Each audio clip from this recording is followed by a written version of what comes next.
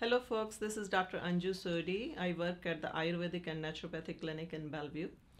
I have background in Ayurvedic medicine, uh, which I finished my school in India in 1990. Same year, I got married to Dr. Shailinder and moved to US.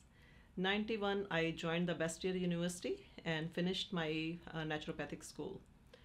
I started practice after that in 94 until now at the clinic and I am specialized in the women's health. I'm also an advisor at the Ayush Herbs Inc. and help developing the products. I have three children.